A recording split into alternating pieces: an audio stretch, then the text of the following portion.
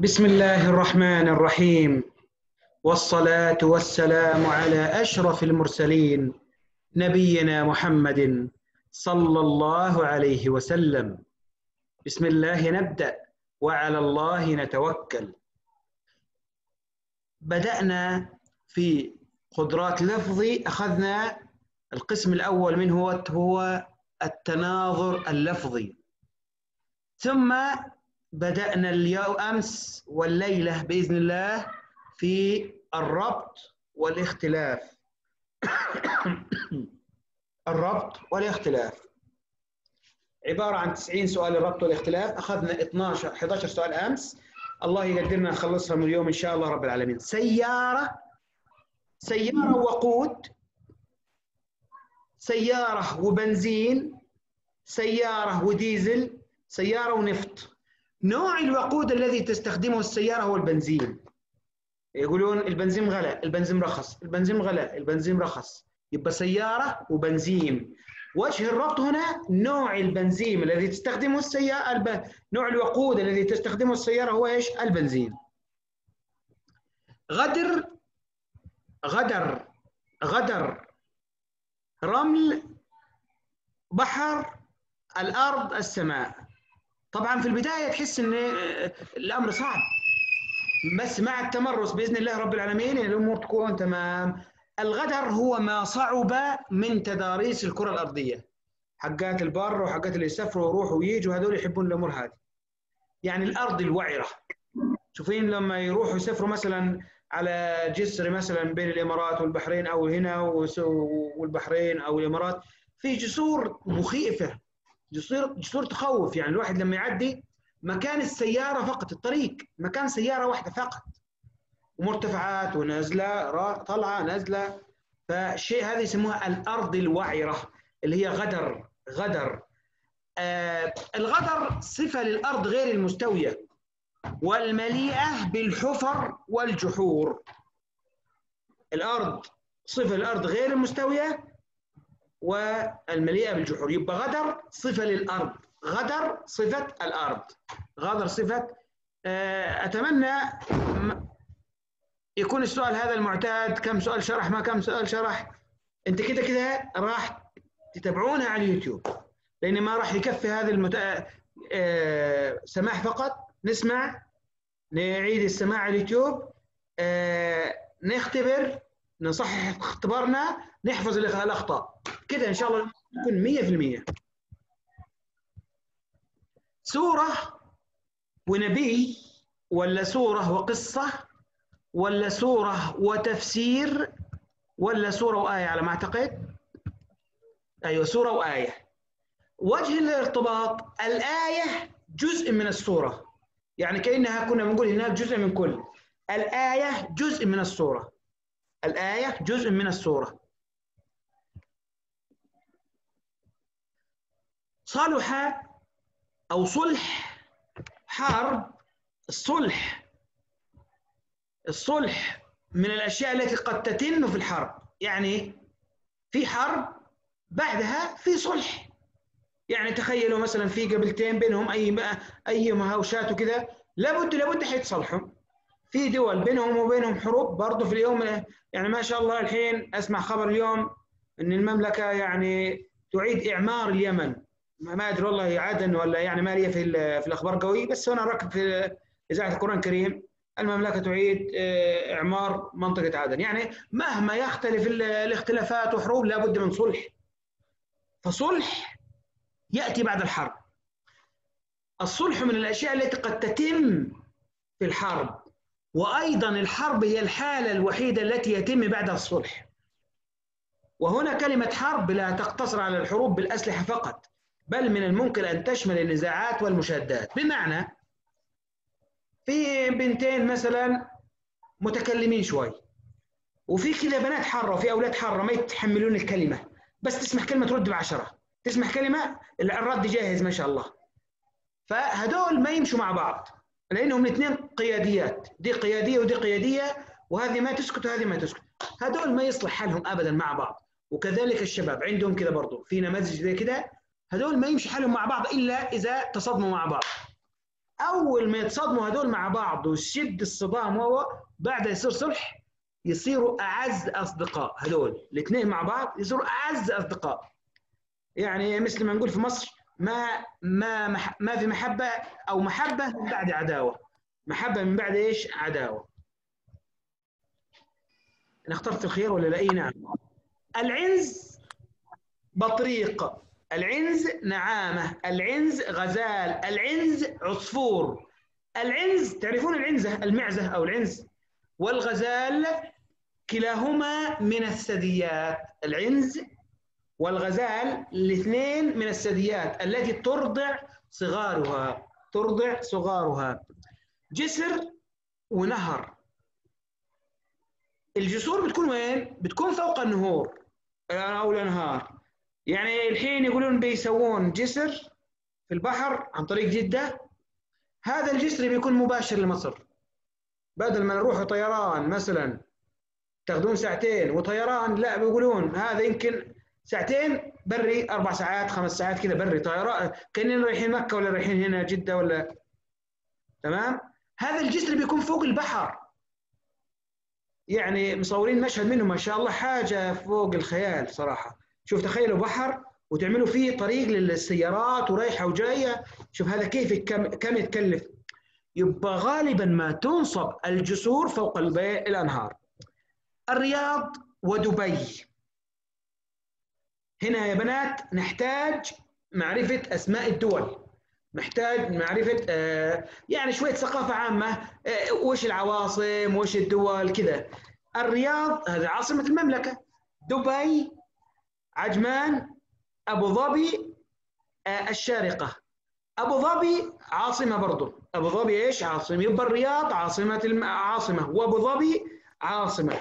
تمام؟ هذه الأمور أنتم أمور الخليج كلها عندكم بسيطة جدا يعني. لا أنتم أهل الخليج يعني دول تعرفون حتى سبحان الله القبائل اللي هنا معظمها هنا وكذا. اختبار. هل الاختبار معناه اجتياز؟ يوم أحد يختبر لازم ينجح هذا الشخص. ولا لازم يسقط رسوب ولا لازم ينجح اجتياز يعني نجاح. ورسوب يعني نجاح يعني حينجح. اختبار يعني امتحان. اختبار يعني امتحان. يعني لا يتعلق عليه أو لا يترتب عليه نجاح ولا رسوب ولا ولا أي شيء.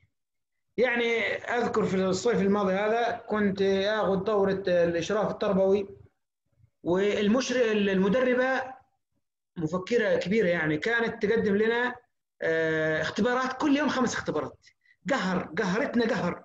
تخيل الواحد بكبره كذا يخلص محاضرات وياخذ خمس اختبارات في اليوم. يخلص المحاضرة هذه ساعتين وياخذ عقبها اختبار. نجلس من الساعة سنتين لين الساعة 7 7 المغرب. من 2 الظهر إلى 7 ناخذ ثلاث اختبارات أربع اختبارات في اليوم. هل هذا معناه نجاح ولا سقوط؟ لا. اختبار معناها امتحان. انت بتقيس الآن أو انت بتقيس الآن مدى استيعابك للموضوع. مدى استيعابك للقضية. درهم ودينار. الدرهم والدينار يعني عملات. أما دولار ين فرنك. كلها فرانك كلها عملات. درهم دينار دولار ين فرنك كلها عملات وكلها حلوة. ما عدا الين يمكن الياباني والله حتى حل الين الياباني حتى بعد حلو ما شاء الله. كلهم ما شاء الله عليهم خاصة الدولار. درهم ودينار هذا اللي ورد في السنة. بالدرهم والدينار. تمام؟ هذول عملات عربية. درهم كويتي درهم إماراتي درهم ما أدري إيش يعني موجودة عملات عربية.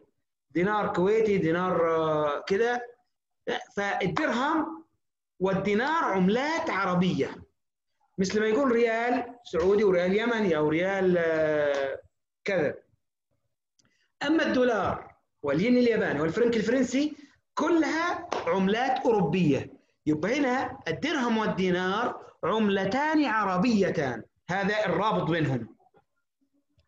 صورة وإطار. الإطار جزء من الصورة ويحيط بها.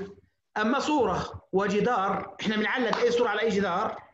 ولا أي صورة بتنحط في أي بيت؟ ولا أي صورة غموض؟ طبعا بعيدة غموض وبيت بعيدة وجدار بعيدة طبعا. هذا إنسان يكون آه، يعني عبساوي فوضوي اللي يحط صورة على على الجدار كذا إحنا أصلا نحط صورة نجمل المكان. بعضهم يحطون صورة كذا خيالية فيها فيها خيال واسع.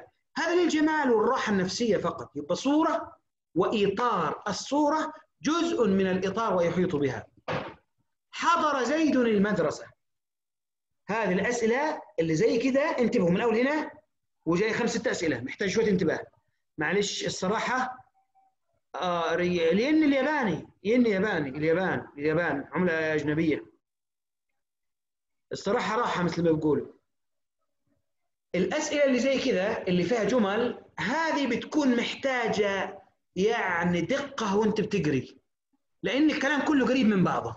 حضر زيد المدرسة. حلو. حضر زيد المدرسة. هل هذا معناه لم يتغيب زيد عن المدرسة؟ ولا اسم زيد في الحضور؟ حضر إيه إن شاء الله اسمه في الحضور. لم يتغيب؟ إيه لم يتغيب. الاثنين صح. بس حضر زيد المدرسة. يعني معناها طالما حاضر ليس غايب. أما اسمه في كشف الحضور لا ممكن يكون حاضر والمدرس كاتبه غايب صح ولا لا؟ يبقى آه، حضر زيد المدرسة لم يتغيب زيد عن المدرسة. طبعا حيجينا خيارات آه، قريبة كلها قريبة مرة. كرة ومستطيل كرة وخط مستقيم كرة ومربع كرة ودائرة. على طول هذه كرة ودائرة شكل ثنائي الأبعاد ومجسمه هو الكرة. الكرة البرتقانة كرة دائرة كرة آه، مضرب آه، اللي هي كرة السلة كرة. كلها دائرية على صورة الكرة فهذه آه، ناخذها مع بعضها. أسد وليس ليس يعني احمدوا ربنا ان أنا مطلع الساء. يعني ها المصريين دائما يقولوا على الثاء سين.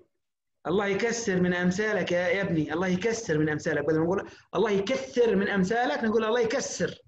يعني كسر كسر. ليس أسد وليس ضبع وذئب وفهد. الأسد والليس بينهم ترادف. يعني الليس هو الأسد. الليس هو الأسد. الضبع والذئب والفهد كلهم حيوانات بس غير الأسد.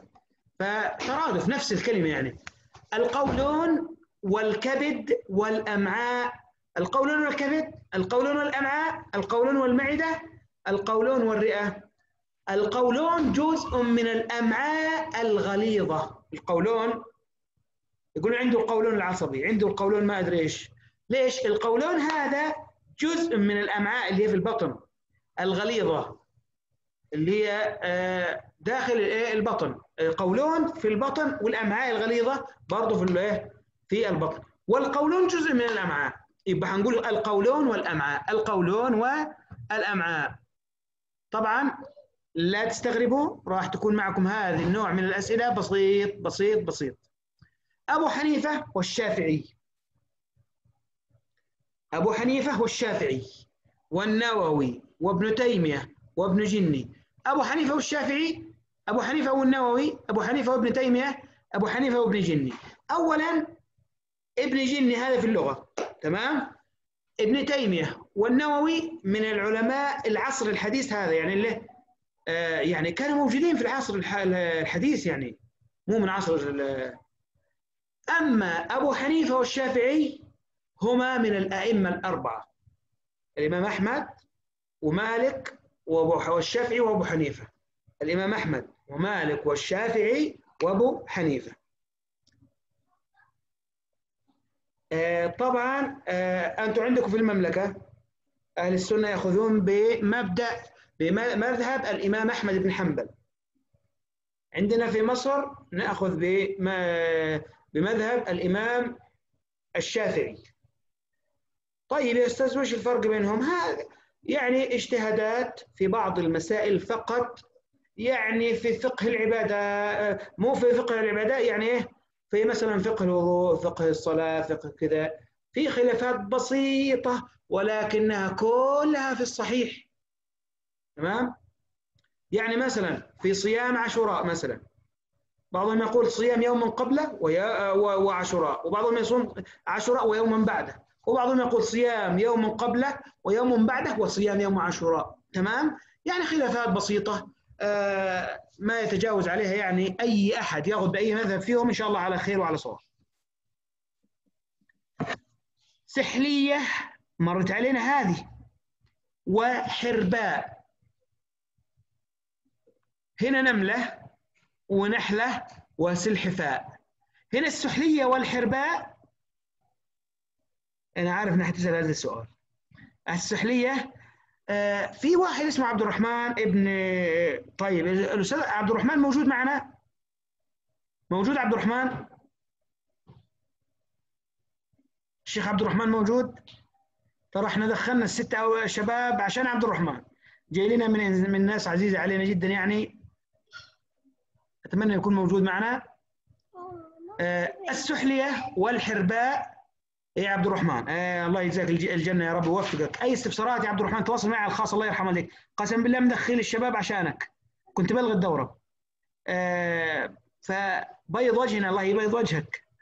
تواصل معنا على الخاص. دائما أنا ما شفت منك تفاعلات وكذا. عليك توصية مثل ما يقولون يعني. السحلية والحرباء. ها؟ السحلية والحرباء. السحلية والحرباء. ينتمون لنفس الفصيلة. وش هي؟ الزواحف. السحلية والحرباء. آه فكلاهما من الزواحف. أيوه السؤال اللي زي كذا محتاج هذا السؤال لا تجاوبونه بسرعة. ما يهمك الوقت فيه هذا السؤال زي كذا ركزوا فيه لأن الإجابات كلها يعتبر صح. يعني فعلا كل الإجابات يعتبر صحيحة. اسمعوا السؤال مثلا. عبد الله الوحيد من اخوتي متفوق. انت واحدة بتقول عبد الله الوحيد من إخواتي متفوق أو واحد يقول عبد الله الوحيد من إخواتي متفوق. اسم هذا معناه اسم عبد الله مكتوب مع المتفوقين. ولا معناه سامي أخي غير متفوق؟ ولا معناه عبد الله أخي من المتفوقين؟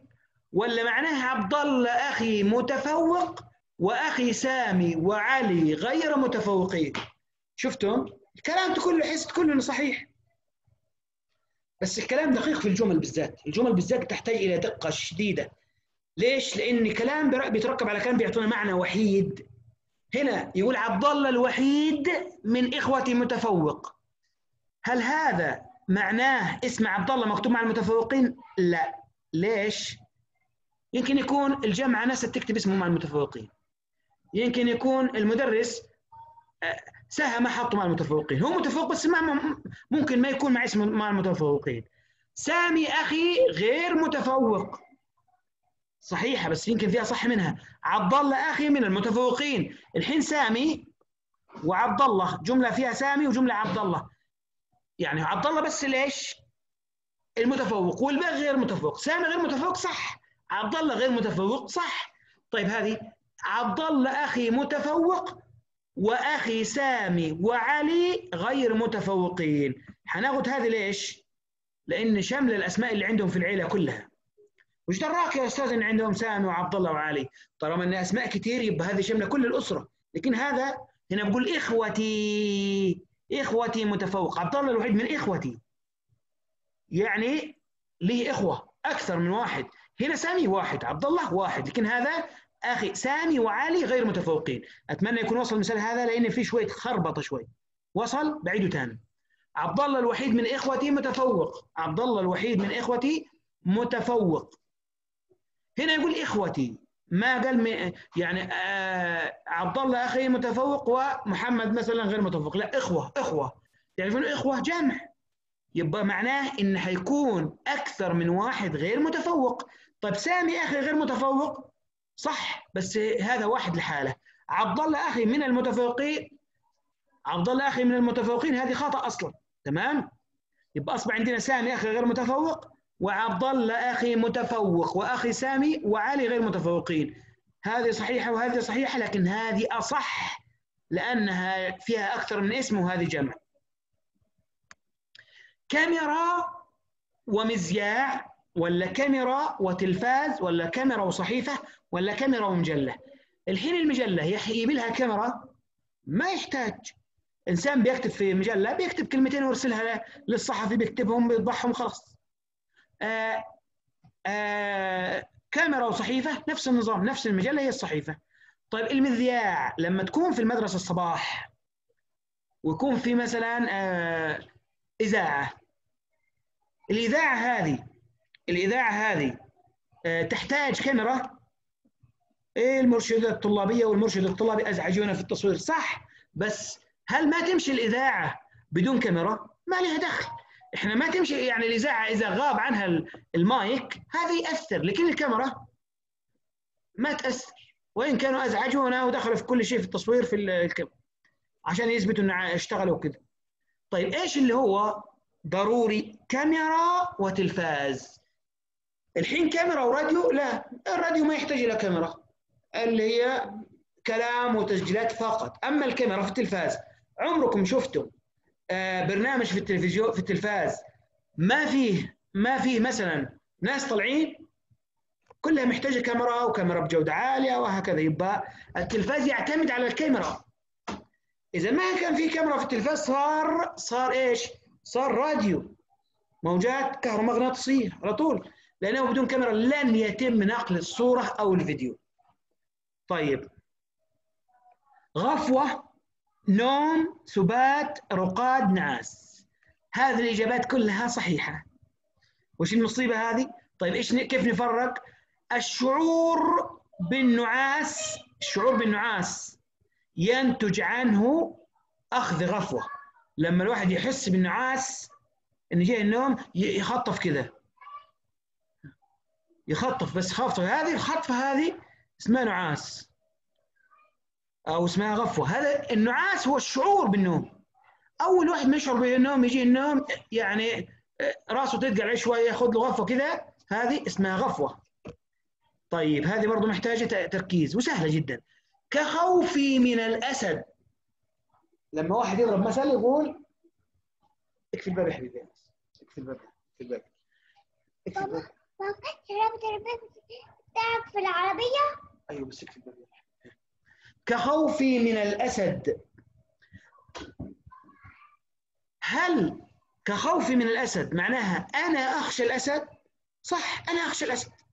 لا أخشى شيئا غير الأسد؟ لا والله ممكن أخاف من الأسد من الثعبان من بعضهم بعضكم البنات خاصة يخافوا من الفار والصرصار والحاجات اللي زي كده.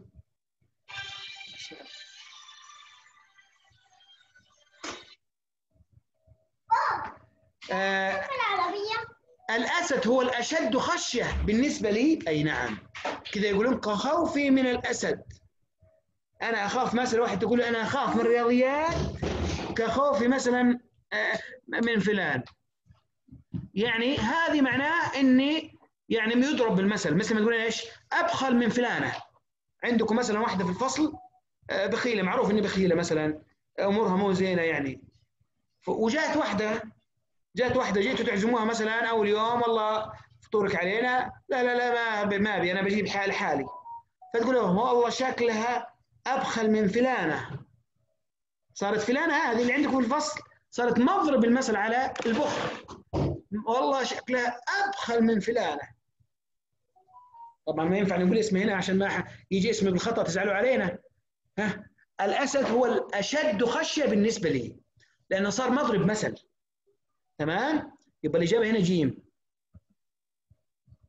سهم ورصاصة سهم وبندقية سهم ومسدس سهم ومدر ومدرعه سهم ورصاصة هذا سهم وهذه رصاصة. السهم يطلع بيطلع من إيه؟ من القوس. والرصاصة بتطلع من المسدس يعني الاثنين بيطلعوا من من مكان. أما البندقية هي اللي بيطلع منها الشيء المسدس هو اللي بيطلع منه المدرعة هي اللي بيطلع منها يعني هدول بندقية ومسدس هم اللي بيطلع منهم الشيء. أما الرصاصة والسهم هم اللي بيطلعوا. يبقى كلاهما مقذوفات. فالسهم يطلق من القوس والرصاصة تطلق من المسدس. محاسب ونقود. محاسب وبضاعة محاسب ومستودع محاسب وخزان. المحاسب يتعامل مع إيش؟ مع الفلوس ما يعرف إلا الفلوس. هو المحاسب يشتغل مع الفلوس خارج وطالع ووارد واللي حتخش تقنية بعد كده إن شاء الله؟ راح تعرف ان في صادرات وواردات و و و بتعامل شغل المحاسب هذا في عندكم في التقنية كثير لما اللي حتروح تقنية. مجال عمل المحاسب مرتبط بالنقود. مجال عمل المحاسب مرتبط بالنقود. ما كل مجتهد سيصيب. أوه جاي تعقدنا اليوم يا أستاذ ما كل مجتهد سيصيب. هل هذا معناه؟ ترى هذا فيها لحسة شوية السؤال هذا ها. هل هذا معناه المجتهد حتما سيصيب؟ لا. المجتهد حسما حتما سيصيب يعني بمعنى مثلا واحدة لا هذا بنعقدته كذا إحنا عقدتكم كذا حنسحب على شرح هذا عشان ما عشان ما يجيكم طاقة سلبية. المجتهد غالبا سيصيب يعني المجتهد أحيانا يعني يصيب أحيانا. لكل مجتهد نصيب نعم. لن يصيب إلا المجتهد؟ لا طبعا. أذكر لكم سائل عندي كان في الجامعة جامعة القاهرة وما أدراك ما جامعة القاهرة. يعني ضرب من الجنون كذا الجامعة كلها مختلطة. ندخل تدخل الجامعة البنات يعني ممكن تبص 20 مرة تناظر 20 مرة هذه لابسه ولا ما هي لابسه يعني أو أنا طبعا من أرياف. أول مرة نزلت جامعة القاهرة قسما بالله حسيت نفسي دايخ. حسيت نفسي كده أنا ما أنا شايف قدامي. فهنا كان معي واحد من الأرياف برضه يعني طالع من ارياف الريف يعني متحفظين مثل ما تعرفون يعني. هذا الولد قال خلاص أنا ما أنا جاي أدرس أنا جاي أعيش حياتي. والله العظيم الولد هذا دخل بين البنات يروحون الحديقة حديقة الحيوانات يروحون هنا هنا ما يحضر محاضرات ابدا. وأنا ما شاء الله أدخل من الساعة 7 الصباح رايح المحاضرة للساعة 11 بالليل. من الساعة 7 صباح الليل 11 بالليل. وهذا بس يطلع الساعة 12 يروح يتغدى يفطر يروح مع طول اليوم مع مع البنات كذا والله العظيم إني جايب جيد هذا الولد وما حضر إلا أيام الاختبارات فقط. لن يصيب إلا المجتهد. والله ما اجتهد ده لعب وبس لما قال بس. لن يصيب إلا المجتهد لا ما هذه ما هي بقاعدة. يعني أضرب لكم مثلا أنا في القدرات بس لا تنفذونها هذا كان أول ما نزلت القدرات. المثل اللي بقوله هذا. لا تنفذونه هذا راح راح زمنه. كنت أدرس طالب كل المواد طالب ثاني ثانوي. أنا كنت أتابعه من من ثانية ابتدائي كان توفى والده وتابعته لين يعني خلص. يعني الحين خلص جامعة ما شاء الله. هذا الولد ما شاء الله عليه أدب وأخلاق و ويفهم كل شيء ما عدا الرياضيات والإنجليزي. كل شيء ما شاء الله بس هذول ما يفهمون. كل ما أقول له يا ابني ذاكر قدراتي كلها فعنده اختبار أول مرة يدخل اختبار. يا ابني خلينا نذاكر قدرات. يا أستاذ أنت تعرف أنا أفهم لا رياضيات ولا انجليزي كيف؟ المهم قلت له طيب أنت فاشل فاشل. بكرة إن شاء الله وأنت بتحل كذا خذها بالترتيب يا فاشل. خذ الأولى اللي بعدها الثانية اللي بعدها الثالثة الرابعة. واشتغل على كذا الأولى الثانية الثالثة الرابعة الأولى الثانية الثالثة الرابعة. والله العظيم أنا أقولها أمزح معه لأن أنا أقول هو فاشل فاشل فبمزح وأخذها مزح. ويجيب اختبار يقول لي والله أستاذ اختبار سهل. اختبار والله ما توقعت إنك تعرف كذا.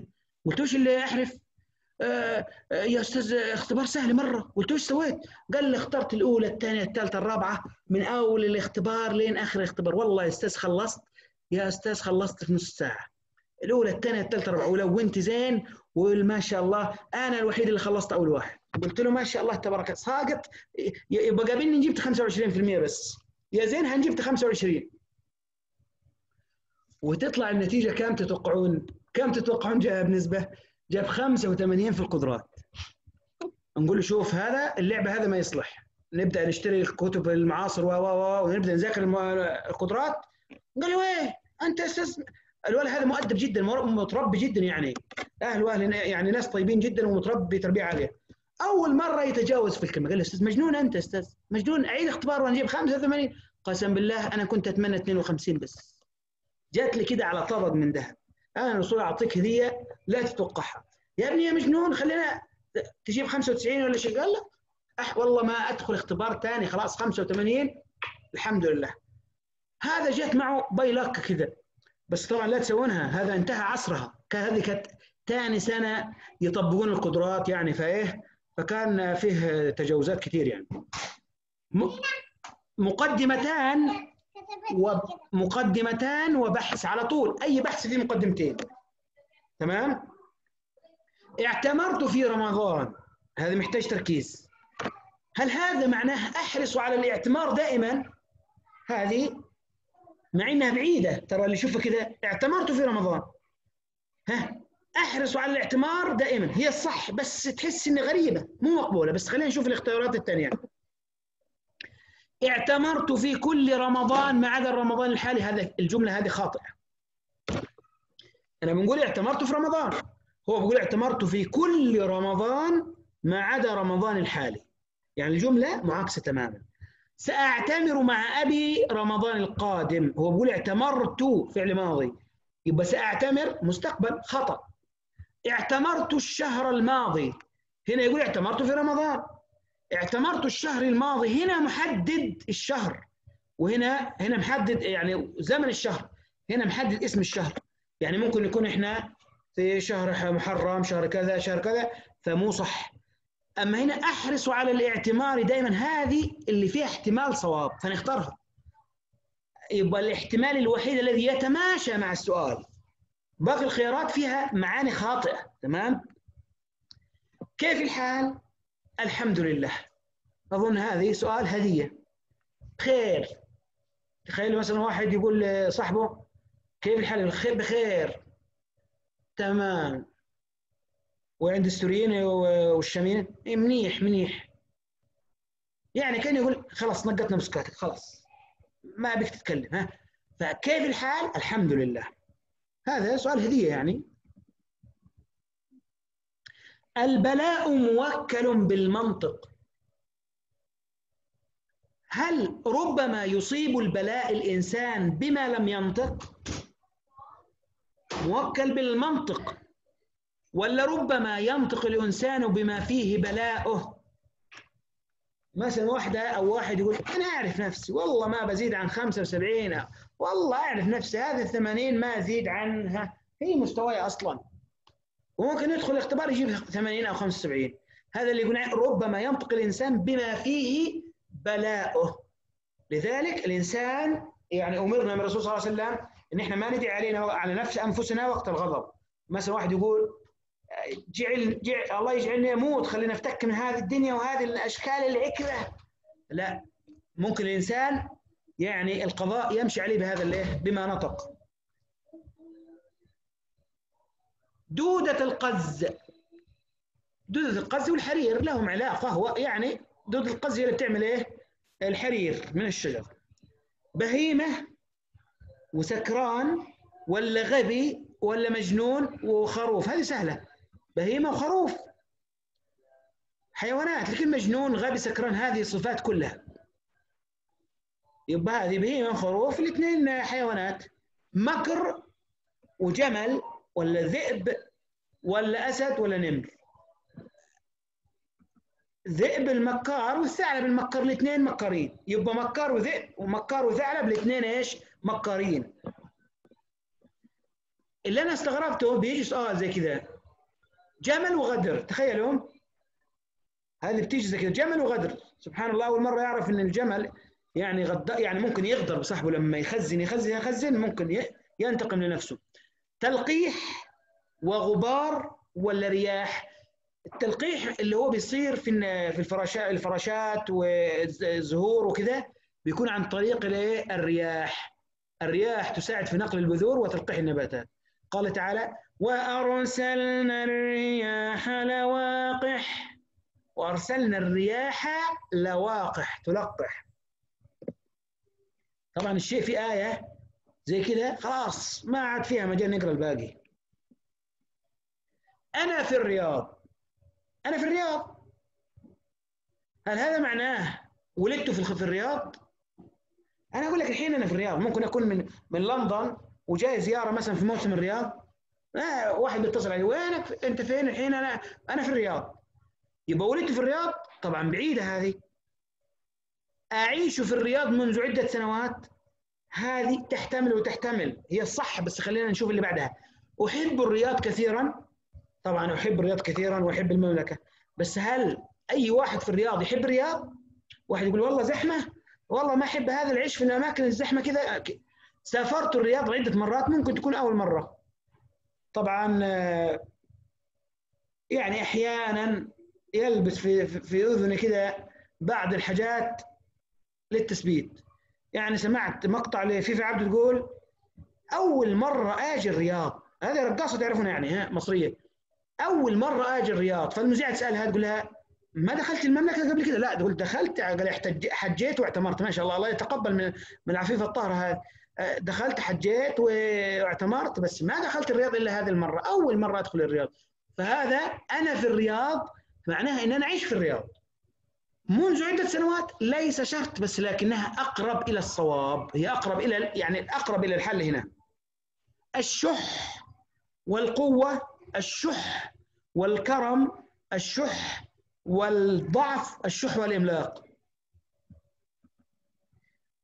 ولا تقتلوا أولادكم خشية إملاق من الشح والبخل. تخاف إنه يعني يسخلوا عليكم في المصاريف؟ ثعلب ومكر. يبقى الثعلب مكار والذئب مكار. هذه خلصنا منها.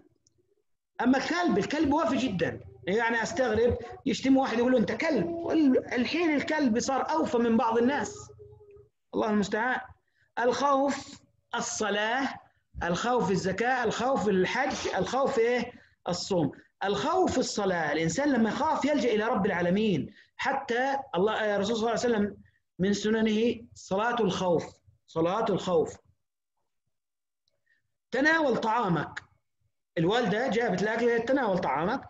أقول لها حسنا لا بأس. سأتناول غذاء. حسنا تقال في أي شيء. لا بأس. موافق غير موافق؟ سأتناول فصل.